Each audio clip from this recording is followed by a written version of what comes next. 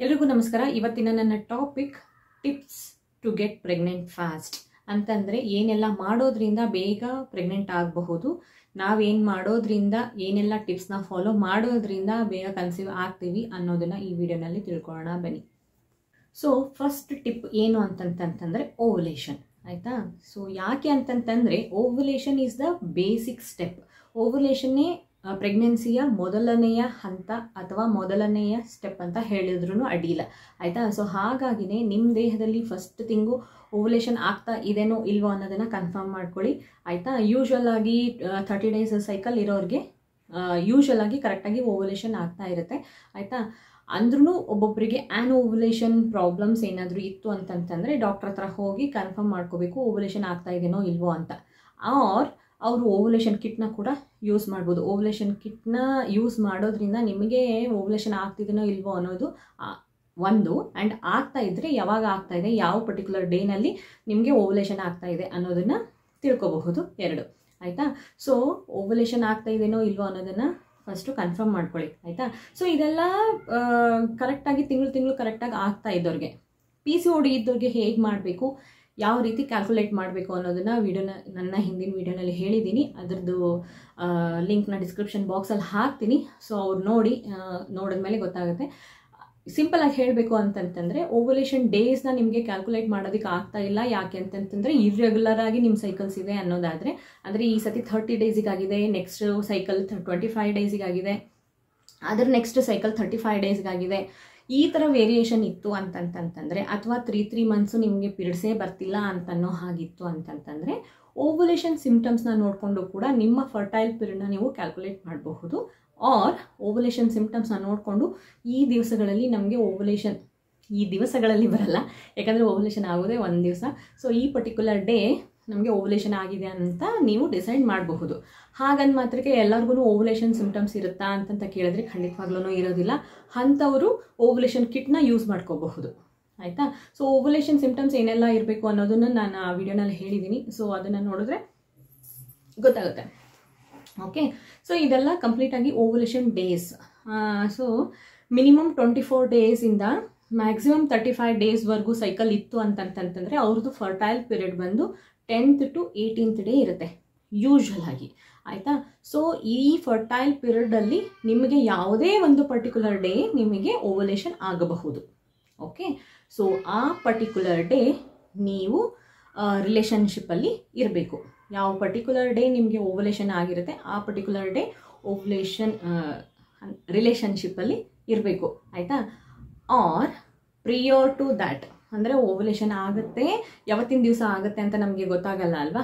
So ಹಾಗಾಗಿ tenth ಡೇಯಿಂದ start ಮಾಡಿ ಏಯ್ಟೀನ್ತ್ ಡೇವರೆಗೂ ಎವ್ರಿ ಅಲ್ಟರ್ನೇಟಿವ್ ಡೇಸ್ ನೀವು ರಿಲೇಷನ್ಶಿಪ್ಪಲ್ಲಿ ಇರಬೇಕು. ಯಾಕೆ ಎವ್ರಿ ಡೇ ಇರಬಾರ್ದು ಅಂತ ಕೇಳಿದ್ರೆ, ಆವಾಗ ಸ್ಪೋಮ್ ಮೊಟಿಲಿಟಿ ಆಗಿರ್ಬೋದು ಸ್ಪೋಮ್ ಕೌಂಟ್ ಆಗಿರ್ಬೋದು ವೇರಿ ಆಗುತ್ತೆ ಅವ್ರು ಕಮ್ಮಿ ಆಗುತ್ತೆ ಅಂತಲೇ ಸ್ಟ್ರೈಟಾಗಿ ಹೇಳ್ತಾ ಇದ್ದೀನಿ.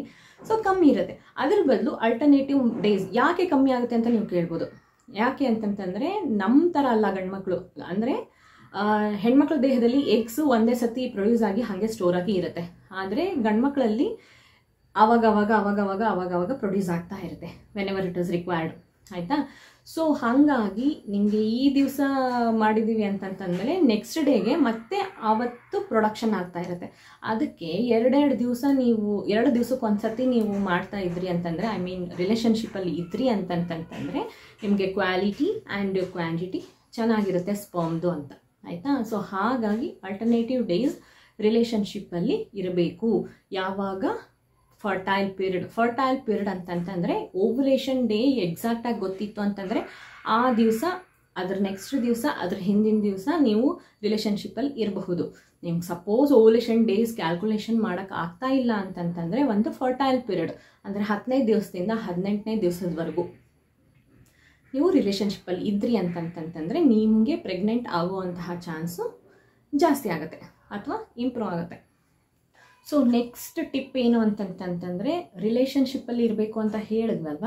ಆದರೆ ಅದನ್ನು after your fertile period you should stop it ಅಂತಂದರೆ ಫರ್ಟೈಲ್ ಪಿರಿಯಡ್ ನಿಮಗೆ ಟೆಂತ್ ಟು ಏಯ್ಟೀನ್ತ್ ಡೇಸ್ ಆದಮೇಲೆ ರಿಲೇಷನ್ಶಿಪ್ಪಲ್ಲಿ ಇರಬಾರ್ದು. ಸ್ಟಾಪ್ ಮಾಡಬೇಕು. ಆಯಿತಾ? ಇನ್ನು ಏನು, ಏನಕ್ಕೆ ಅಂತಂತಂದರೆ, ಈಗ ಕೆಲವೊಂದಿಷ್ಟು ಜನಕ್ಕೆ ನೀವು ಯಾವತ್ತಿನ ದಿವಸ ನಿಮ್ಮದು ಓವ್ಯುಲೇಷನ್ ಆಗಿರುತ್ತೆ ಆವತ್ತಿನ ದಿವಸನೋ ಅಥವಾ ಅವತ್ತಿನ ಹಿಂದಿನ ದಿವಸನೋ ಅಥವಾ ಅವತ್ತಿನ ಮರುದಿನ ಮರದಿವ್ಸನೋ ನೀವು ಇಂಟರ್ಕೋರ್ಸ್ ಮಾಡಿದ್ರಿ ಅಂತಂತಂದರೆ ಸ್ಪರ್ಮ್ ಎಗ್ ಮೀಟ್ ಆಯಿತು ಅಂತಂತಂದರೆ ಆವಾಗಿನ ಆವಾಗಲೇ ನೀವು ಕನ್ಸೀವ್ ಆಗಿಬಿಟ್ಟಿರ್ತೀರ. ಆಯಿತಾ? ಜೈಗೋಟ್ ಫಾರ್ಮೇಷನ್ ಆಗಿಬಿಟ್ಟಿರುತ್ತೆ ಎಂಬ್ರಿಯೋ ಫಾರ್ಮೇಷನ್ ಆಗಿಬಿಟ್ಟಿರುತ್ತೆ. ಆಯಿತಾ? ಸೊ ಹಾಗಾಗಿನೇ ಸಪೋಸ್ ಏನಾದರೂ ಫಾರ್ಮೇಷನ್ ಆಗಿ ನೀವು ಮತ್ತೆ ತಿರ್ಗಾ ಇಂಟರ್ಕೋರ್ಸ್ ಮಾಡಿದ್ರಿ ಅಂತಂತಂದರೆ ಬೈ ಚಾನ್ಸ್ ಗೊತ್ತಿಲ್ಲ, ಅಲ್ವಾ? ಏನಾದರೂ ಪ್ರೆಷರ್ ಜಾಸ್ತಿ ಬಿದ್ದೋ, ಏನೋ ಅದು ಕನ್ಸೀವ್ ಆಗಿರೋದು ಅಂದರೆ ಎಂಬ್ರಿಯೋ ಫಾರ್ಮ್ ಆಗಿರೋದು ಕೂಡ ಏನಂತ ಹೇಳ್ಬೋದು? ಡಿಸ್ಟ್ರಾಯ್ ಆಗುತ್ತೆ. ಆಗುವಂತಹ ಚಾನ್ಸ್ ಇರುತ್ತೆ. ಆಯಿತಾ? ಅದು ನಿಂತ್ಕೊಳ್ಳಲ್ಲ. ಆಯಿತಾ? ಸೊ ಮಗು ಏನು ಫಾರ್ಮ್ ಆಗಿರುತ್ತೆ? ಅದು ಸಸ್ಟೈನ್ ಆಗೋದಿಲ್ಲ. ಆಯಿತಾ? ಹಾಗಾಗಿನೇ ನೆಕ್ಸ್ಟು ಥರ್ಡ್ ವೀಕ್ ಆದ ಮೇಲೆ ಫೋರ್ತ್ ವೀಕಲ್ಲೆಲ್ಲ ಇಂಟ್ರಕೋರ್ಸ್ ಮಾಡೋದು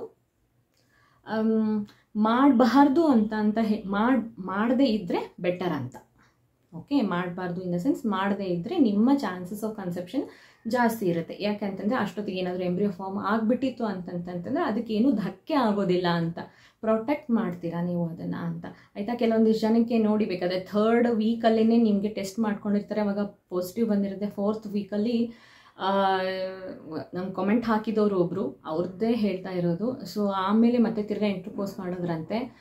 ನೋಡಿದ್ದಾರೆ ಕಿಟ್ಟಲ್ಲಿ ನೋಡಿದ್ದಾರೆ ಪಾಸಿಟಿವ್ ಬಂದಿದೆ. ಅದಾದ್ಮೇಲೂ ಮತ್ತೆ ತಿರ್ಗಾ ಇಂಟರ್ಕೋರ್ಸ್ ಮಾಡಿದ್ದಾರೆ. ಅದಾದ್ಮೇಲೆ ನೀವು ಮತ್ತೆ ತಿರ್ಗಾ ಚೆಕ್ ಮಾಡ್ಕೊಂಡಿದ್ದಾರೆ, ಅವಾಗ ನೆಗೆಟಿವ್ ಬಂದಿದೆ. ಆಯಿತಾ? ಸೊ ಇದನ್ನು ಅವಾಯ್ಡ್ ಮಾಡೋದಕ್ಕೋಸ್ಕರ ನಿಮ್ಮದು ಫರ್ಟೈಲ್ ಪೀರಿಯಡ್ ಆದಮೇಲೆ ಇಂಟರ್ಕೋರ್ಸ್ ಮಾಡದೇ ಇರೋದು ಬೆಟರ್ ಅಂತ. ಥರ್ಡ್ ಟಿಪ್ ಏನು ಅಂತಂತಂದರೆ ಇಂಟರ್ಕೋರ್ಸ್ ಆದಮೇಲೆ ಬೆಡ್ಡಲ್ಲೇ ಇರಬೇಕು. ಆಯಿತಾ? ಸಡನ್ನಾಗಿ ಎದ್ದು ವಾಶ್ರೂಮಿಗೆ ಹೋಗೋದಾಗಲಿ ವಾಶ್ ಮಾಡ್ಕೊಳ್ಳೋದಾಗಲಿ ಮಾಡಬೇಡಿ. ಆಯಿತಾ? ಹತ್ತು ನಿಮಿಷ, ಮಿನಿಮಮ್ ಹತ್ತು ನಿಮಿಷ ಬೆಡ್ಡಲ್ಲೇ ಇರಬೇಕಾಗಿರೋ ಅಂಥದ್ದು ಆಯಿತಾ?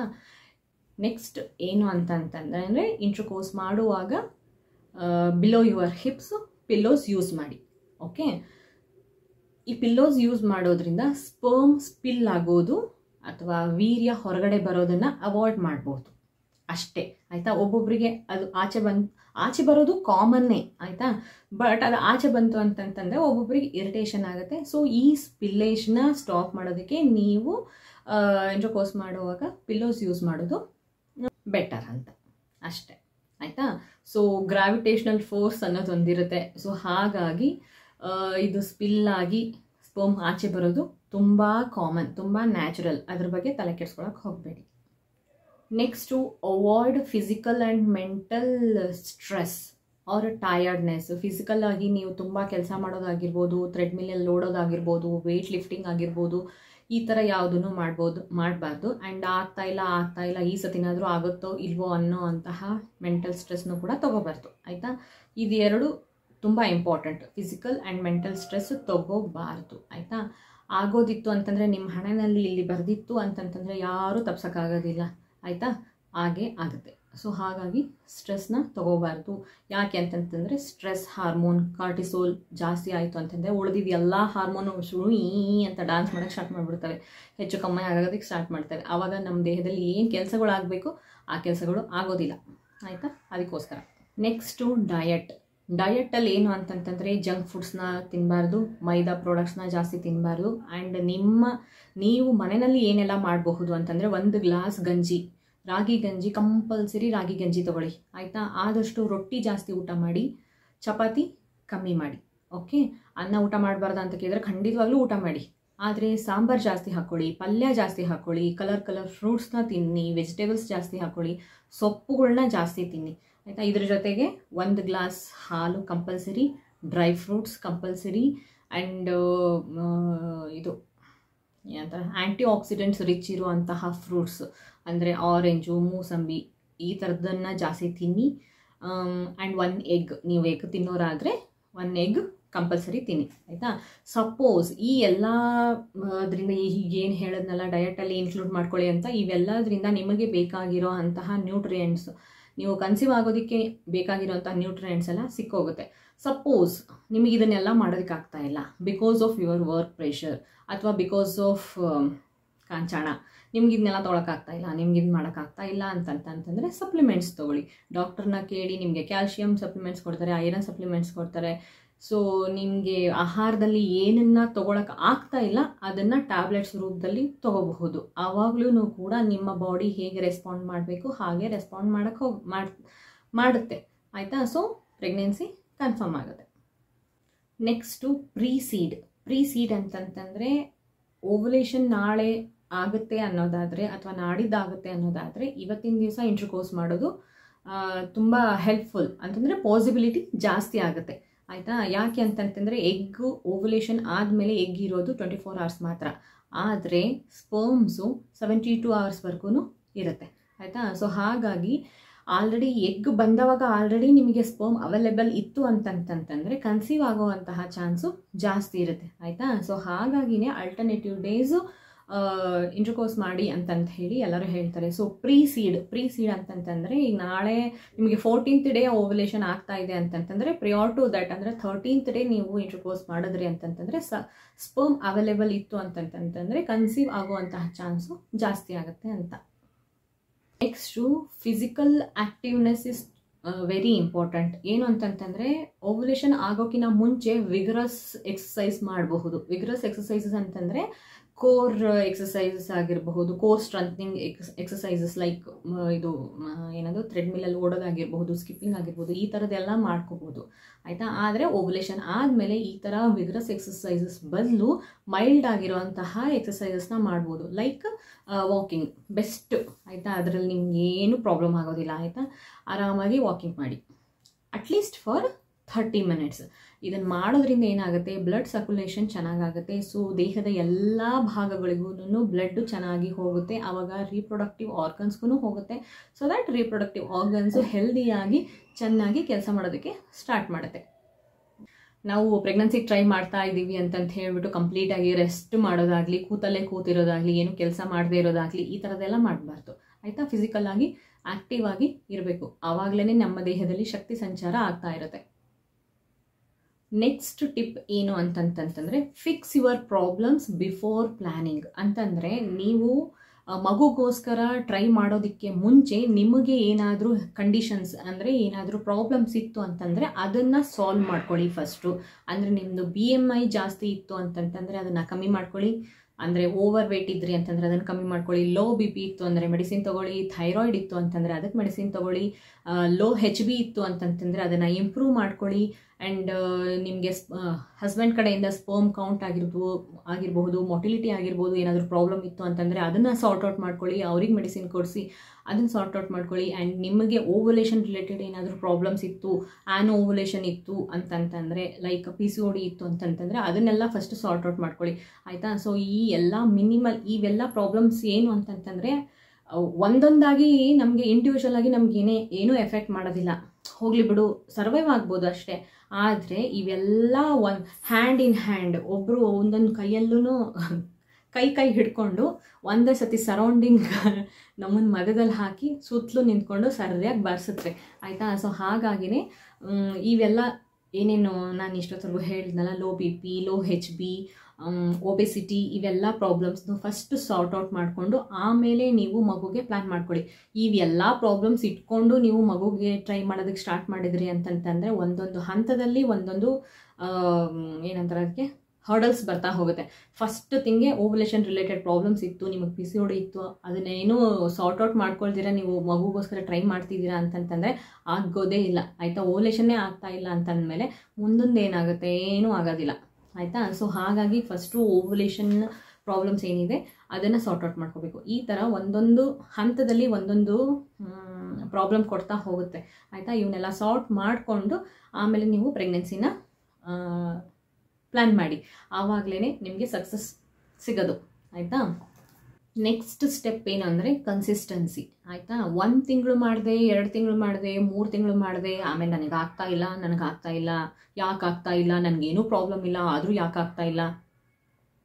ಆಯಿತಾ? ನಾರ್ಮಲ್ ಹಸ್ಬೆಂಡ್ ಆ್ಯಂಡ್ ವೈಫ್ದು ಇಬ್ಬರದು ರಿಪೋರ್ಟ್ ನಾರ್ಮಲ್ ಇದ್ದೂ ಅಂಥವ್ರಿಗೆ ಕನ್ಸೀವ್ ಆಗೋದಕ್ಕೆ ಒಂದೊಂದು ವರ್ಷ ಹಿಡಿಯುತ್ತೆ. ಆಯಿತಾ? ಸೊ ಟ್ವೆಲ್ ಮಂತ್ಸ್ವರೆಗೂ ನೀವು ಕನ್ಸಿಸ್ಟೆಂಟ್ ಆಗಿ ಇದನ್ನೆಲ್ಲ ಹೇಳಿರೋದನ್ನೆಲ್ಲ ಫಾಲೋ ಮಾಡಿ ಆದಮೇಲೂ ವಿತೌಟ್ ಎನಿ ಪ್ರಾಬ್ಲಮ್ಸ್ ನಿಮಗೆ ಬೇರೆ ಏನು ಪ್ರಾಬ್ಲಮ್ಸ್ ಇಲ್ದಿರ ಇಬ್ಬರದು ಕರೆಕ್ಟಾಗಿ ರಿಪೋರ್ಟ್ಸ್ ಇದ್ದು, ಎಲ್ಲ ಕರೆಕ್ಟಾಗಿದ್ದು ನೀವು ನಾನು ಇಷ್ಟೊತ್ತರೆಗೂ ಹೇಳಿರೋ ಟಿಪ್ಸ್ನೆಲ್ಲ ಫಾಲೋ ಮಾಡಿದ ಮೇಲೂ ನಿಮಗೆ ಕನ್ಸೀವ್ ಆಗ್ತಾ ಇಲ್ಲ ಅಂತ ಅಂದವಾಗ ಮಾತ್ರ ನೀವು ಡಾಕ್ಟರ್ ಹತ್ರ ಹೋಗಬೇಕು.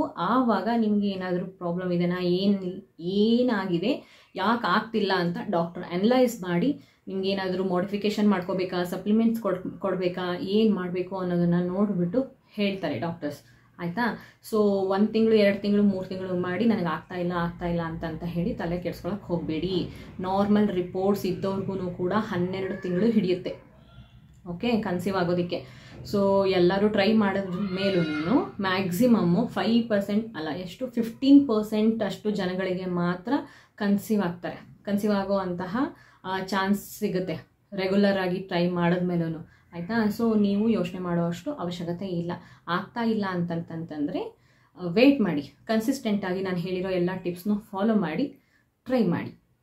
ಸೊ ಇದೆಲ್ಲ ಕನ್ಸೀವ್ ಆಗೋದಕ್ಕೆ ಏನೆಲ್ಲ ಮಾಡಬಹುದು, ಏನೆಲ್ಲ ಮಾಡೋದ್ರಿಂದ ಬೇಗ ಕನ್ಸೀವ್ ಆಗ್ತೀವಿ ಅನ್ನೋದ್ರ ಬಗ್ಗೆ. ಆಯಿತಾ? ಸೊ ಇದನ್ನೆಲ್ಲ ನಾನು ಫಾಲೋ ಮಾಡಿನೇ ನಾನು ನನಗೆ ಮಗು ಹುಟ್ಟಿದ್ದು. ಆಯಿತಾ? ಸೊ ಹಾಗಾಗಿ ನಾನು ಏನೇನು ಮಾಡಿದ್ದೀನಿ ಎಲ್ಲನೂ ಎಲ್ಲನೂ ಒಂದೊಂದು ಟಿಪ್ಪಲ್ಲಿ ಹೇಳಿದ್ದೀನಿ ಆಯಿತಾ? ಸೊ ನೀವು ಎಲ್ಲ ಪ್ರಯತ್ನ ಮಾಡಿ. ಮಗು ನಿಮಗೆ ಮಗು ಆಯಿತು ಅಂತಂದರೆ ನನಗೆ ಖುಷಿ ಆಗುತ್ತೆ. ಓಕೆ ಇದು, ಇದ್ರ ಬಗ್ಗೆ ನಿಮ್ಗೆ ಏನಾದರೂ ಡೌಟ್ಸ್ ಇತ್ತು ಅಂತಂತಂದರೆ ಕಮೆಂಟ್ ಬಾಕ್ಸಲ್ಲಿ ತಿಳಿಸಿ ಉತ್ತರ ಕೊಡೋದಕ್ಕೆ ಟ್ರೈ ಮಾಡ್ತೀನಿ. ಆ್ಯಂಡ್ ಈ ವಿಡಿಯೋ ನಿಮಗೆ ಇನ್ಫಾರ್ಮೇಟಿವ್ ಅಂತ ಅನ್ನಿಸ್ತು ಅಂತಂತಂದರೆ ಲೈಕ್ ಮಾಡಿ ಕಮೆಂಟ್ ಮಾಡಿ ಶೇರ್ ಮಾಡಿ ನನ್ನ ಚಾನಲ್ನ ಸಬ್ಸ್ಕ್ರೈಬ್ ಮಾಡಿ. ಧನ್ಯವಾದ.